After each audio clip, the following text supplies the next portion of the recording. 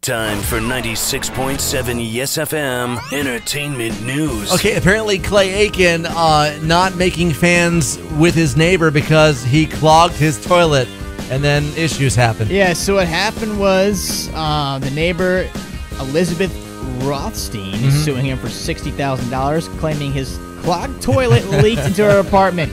Rothstein says the leak caused excessive damage for her Uh-huh. dwelling and belongings, and it probably Yeah. smelled really bad. I would think so. Yeah. Yeah, I, I'm not sure what Clay actually does now.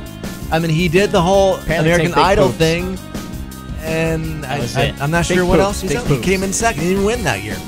All right, um, and apparently Bachelorette star Rachel Lindsay does not want her 15 minutes of fame to end, and she's like meeting with people to keep this thing going, isn't she? Right, so a source tells the site Rachel has been meeting with lots of brand experts and managers, but they will they all told her the same thing. She has the most six months, at most the six months to a year to uh, make as much money as possible. After that, she's most likely will be forgotten about. Yep. Right, the best hope she has is to get uh, cast on Dancing with the Stars or another reality show as well. Uh, after that, she has been told to use her TV fame to promote a business or project she creates, but relying on her fame to get her products is not going to happen. So there you go. Um, Rachel, if you're watching, Rachel, we have a job for you. You can work here. That's right.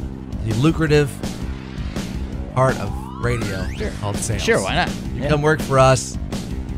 That way you won't be forgotten, at least Yeah. around here. May even buy you lunch once a week, too. There you go. Well worth it, Rachel. Send us your resume.